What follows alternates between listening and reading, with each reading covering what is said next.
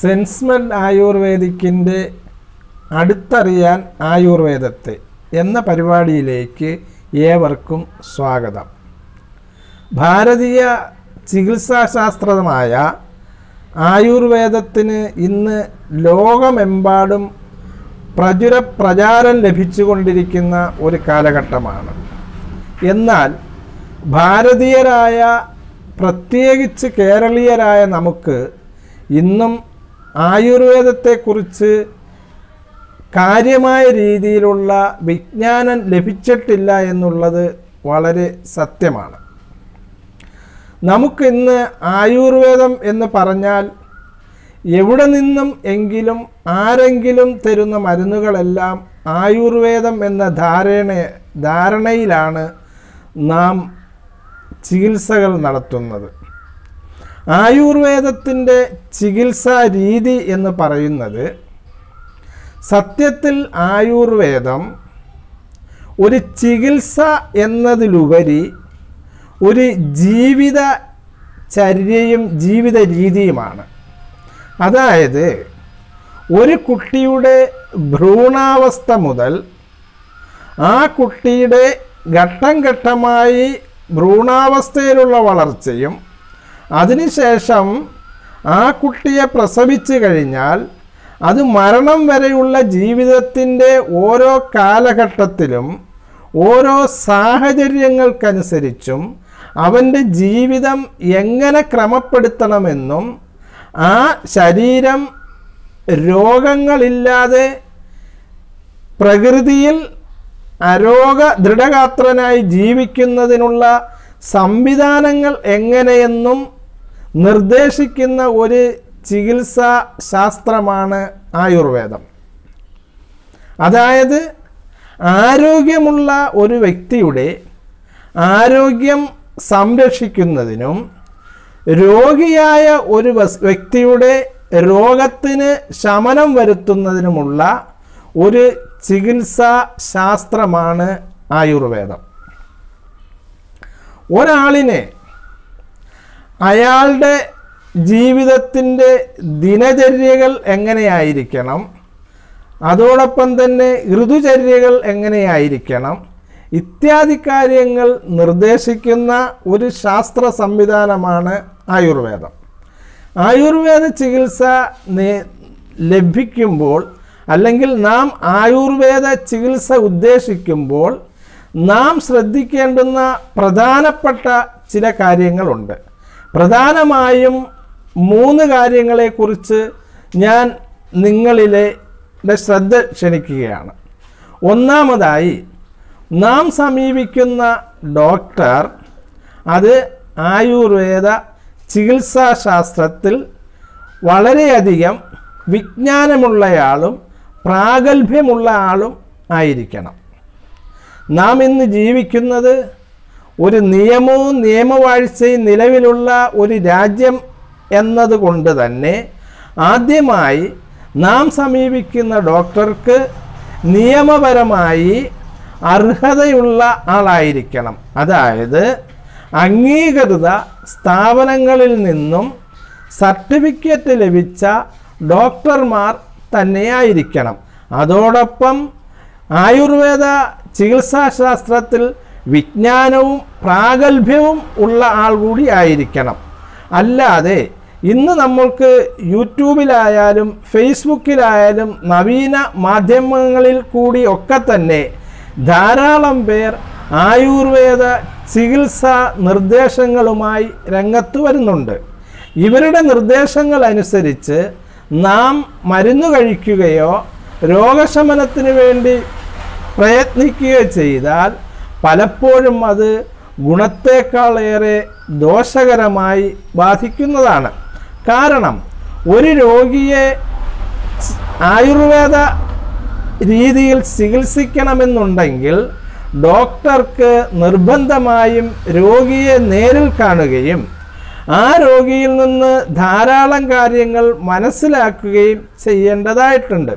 രോഗിയുടെ പ്രായം രോഗിയുടെ ആരോഗ്യം രോഗിയുടെ കായബലം രോഗിയുടെ അഗ്നിബലം അയാളിലുള്ള മറ്റ് രോഗങ്ങൾ ഇത്യാദി ധാരാളം കാര്യങ്ങൾ ഡോക്ടർ നേരിട്ട് മനസ്സിലാക്കിയെങ്കിൽ മാത്രമേ ആ രോഗിക്ക് ഏത് രീതിയിലുള്ള മരുന്നുകൾ എത്ര അളവിൽ നൽകണമെന്നും എപ്പോഴെല്ലാം കഴിക്കണമെന്നും എത്ര കാലഘട്ടത്തിൽ കഴിക്കണമെന്നുമൊക്കെയുള്ള നിർദ്ദേശങ്ങൾ നൽകാൻ കഴിയുകയുള്ളൂ.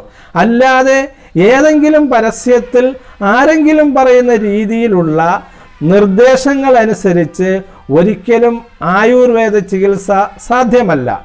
അതുകൊണ്ട് എല്ലാവരും തന്നെയും നിർബന്ധമായിട്ടും ആയുർവേദ ചികിത്സ ഉദ്ദേശിക്കുമ്പോൾ പ്രഗത്ഭനായ കാര്യശേഷിയുള്ള ആയുർവേദ ചികിത്സാശാസ്ത്രത്തിൽ വിജ്ഞാനവും വിവേകവും പക്വതയുമുള്ള ഡോക്ടർമാരെ സമീപിച്ചു തന്നെ വേണം രോഗത്തിനോ അതല്ല രോഗത്തിനല്ലാതെ തന്നെ രോഗം ശമനമാകുന്നതിനോ ആരോഗ്യം നിലനിർത്തുന്നതിനോ ഉള്ള മരുന്നുകളും അതുപോലുള്ള മറ്റു നിർദ്ദേശങ്ങളും സ്വീകരിക്കാവൂ എന്നുള്ളത് ഒന്നാമത്തെ കാര്യമാണ്. രണ്ടാമതുള്ളത് നാം കഴിക്കുന്നത് ഗുണമേന്മയുള്ള ആയുർവേദ ഔഷധങ്ങൾ തന്നെ ആയിരിക്കണം. കാരണം ഇന്ന് പരസ്യങ്ങളിൽ കൂടിയും മറ്റും ധാരാളം മരുന്നുകൾ വിപണിയിൽ ലഭ്യമാണ്. അതുമാത്രമല്ല നമ്മളുടെയൊക്കെ ശ്രദ്ധയിൽ പലപ്പോഴും നമുക്ക് കാണാൻ കഴിയുന്ന ചില കാര്യങ്ങളാണ്.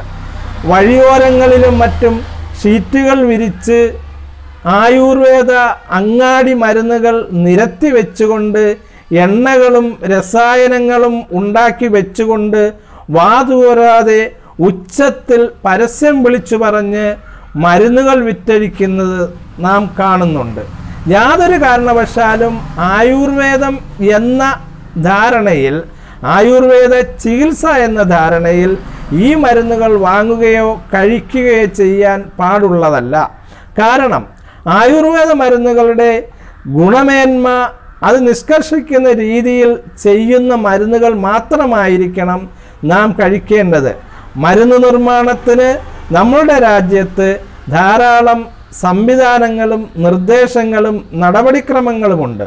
ഒന്നാമത് മരുന്ന് നിർമ്മിക്കുന്ന സ്ഥാപനത്തിന് ജി എം ബി സർട്ടിഫിക്കറ്റ് ഉള്ള സ്ഥാപനമായിരിക്കണം. രണ്ടാമത് നിർമ്മിക്കുന്ന സാധനങ്ങൾക്കും പിന്നെ മരുന്നുകൾക്ക് ഡ്രഗ് ലൈസൻസ് ആ സ്ഥാപനത്തിന് ഉണ്ടായിരിക്കണം. Drug license G M B certificate അതുപോലെ പ്രാദേശികമായിട്ട് പഞ്ചായത്തുകളിൽ നിന്നും മുനിസിപ്പാലിറ്റികളിൽ നിന്നുമൊക്കെയുള്ള അംഗീകൃതമായ ലൈസൻസുകൾ എല്ലാം ഉള്ളതോടൊപ്പം തന്നെ ആ മരുന്നിന്റെ ബോട്ടിലിന്റെ മുകളിൽ അതിൽ എന്തെല്ലാം മരുന്നുകളാണോ അടങ്ങിയിരിക്കുന്നത് എന്നുള്ളത് അത് എത്ര അളവിലാണോ അടങ്ങിയിരിക്കുന്നുള്ളത് രേഖപ്പെടുത്തിയിരിക്കണം. കൂടാതെ അത് നിർമ്മിച്ച തീയതി പാക്ക് ചെയ്യുന്ന നിർവ തീയതി എത്ര കാലം കേടുകൂടാതിരിക്കുമെന്ന് അതിന്റെ എക്സ്പയറി ഡേറ്റ് മുതലായവ രേഖപ്പെടുത്തിയ മരുന്നുകൾ അതും ആധികാരികമായ ഡോക്ടർമാരുടെ നിർദ്ദേശത്തോട് മാത്രം വാങ്ങി അവർ നിർദ്ദേശിക്കുന്ന അതേ അളവിലും അതേ സമയങ്ങളിലും അതേ കാലഘട്ടത്തിലും മാത്രം കഴിച്ചെങ്കിൽ മാത്രമേ ആയുർവേദ മരുന്നുകൾ നമ്മൾക്ക് ഗുണം ചെയ്യുകയുള്ളൂ. മൂന്നാമതുള്ള കാര്യമെന്ന് പറയുന്നത് ചികിത്സയ്ക്കായി നാം ഒരു ഡോക്ടറെ സമീപിക്കുമ്പോൾ നാം മരുന്ന് കഴിക്കുമ്പോൾ നമുക്ക് ആദ്യമായും ആ ഡോക്ടറോട് വിശ്വാസമുണ്ടായിരിക്കണം. ആ ഡോക്ടർ പറയുന്ന നിർദ്ദേശങ്ങളെ അനുസരിക്കാനും അംഗീകരിക്കാനുമുള്ള മാനസികാവസ്ഥ ഉണ്ടായിരിക്കണം അതോടൊപ്പം തന്നെ ക്ഷമിക്കാനുള്ള കഴിവും നമുക്കുണ്ടായിരിക്കണം കാരണം ഡോക്ടർ നിർദ്ദേശിക്കുന്ന മരുന്ന് ആ മരുന്നിനോടൊപ്പം ഡോക്ടർ നിർദ്ദേശിക്കുന്ന പഥ്യങ്ങൾ അതേ രീതിയിൽ പിന്തുടർന്നില്ല എങ്കിൽ യാതൊരു കാരണവശാലും അത് നമുക്ക് ഗുണം ചെയ്യുന്നതായിരിക്കുകയില്ല. അപ്പോൾ ഞാൻ പറഞ്ഞു വന്ന കാര്യങ്ങൾ ആയുർവേദം എന്ന വ്യാജേന ഏതെങ്കിലും മരുന്നുകൾ ആരിൽ നിന്നെങ്കിലും വാങ്ങിക്കഴിക്കുന്ന രീതികൾ യാതൊരു കാരണവശാലും നമുക്ക് ഗുണം ചെയ്യുകയില്ല അത് പലപ്പോഴും നമുക്ക് ദോഷം ചെയ്യുന്നതായിരിക്കും. ആ ദോഷം അത് ആയുർവേദത്തിന്റെ മേൽ വെച്ച് കെട്ടാൻ പാടുള്ളതല്ല. അതുകൊണ്ട് ഞാൻ ഈ പറയപ്പെട്ട പ്രധാനപ്പെട്ട രണ്ട് മൂന്ന് നിർദ്ദേശങ്ങൾ ആയുർവേദ ചികിത്സയ്ക്ക് വേണ്ടി നാം സമീപിക്കുമ്പോൾ നാം ശ്രദ്ധിച്ചിരിക്കണം. അങ്ങനെയുള്ള കാര്യങ്ങളുടെ ഒരു ബോധവൽക്കരണമാണ് ഇന്നത്തെ എപ്പിസോഡിൽ ഞാൻ നിങ്ങളോട് നൽകാൻ ഉദ്ദേശിക്കുന്നത് ഇനിയും വരുന്ന എപ്പിസോഡുകളിലായിട്ട് ആയുർവേദത്തെ അടുത്തറിയ അറിയുന്നതിനുള്ള നിർദ്ദേശങ്ങളുമായി നമുക്ക് വീണ്ടും കാണാം. സെൻസ്മെന്റ് ആയുർവേദിക് എന്ന സ്ഥാപനവുമായി ബന്ധപ്പെടുന്നതിനുള്ള നമ്പരും അഡ്രസ്സുകളും ഡിസ്ക്രിപ്ഷൻ ബോക്സിൽ കൊടുക്കുന്നതായിരിക്കും. മാത്രമല്ല എല്ലാവരും തന്നെയും ഇത് ലൈക്ക് ചെയ്യുകയും സബ്സ്ക്രൈബ് ചെയ്യുകയും ബെൽ ബട്ടൺ ക്ലിക്ക് ചെയ്യുകയും ചെയ്യുക. ഞങ്ങളുടെ എല്ലാ സേവനങ്ങളും എല്ലാ സമയങ്ങളും നിങ്ങളോടൊപ്പം ഉണ്ടായിരിക്കും. നന്ദി നമസ്കാരം.